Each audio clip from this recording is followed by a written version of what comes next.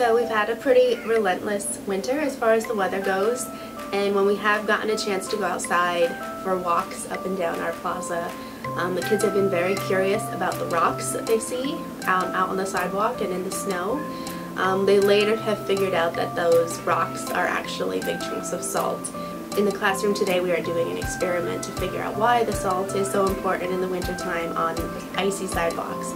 Um, so we have a few different kinds of salt in the classroom today. We have colored salt, um, we have kosher salt, and we have sea salt. Just they're going to experiment um, and see what happens when the salt is put on the ice. Should we try the other salts, guys? Yeah. yeah. See if there's any differences. Do you notice any differences? Do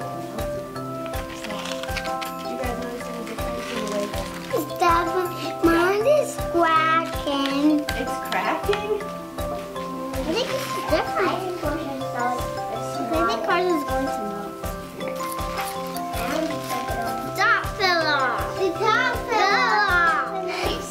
ice will go away and then what?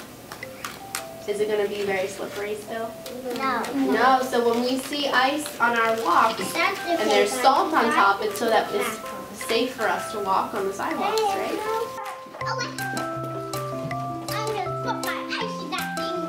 We have melted the ice, crackled, changed the color, or did it just do nothing at all? Changed color.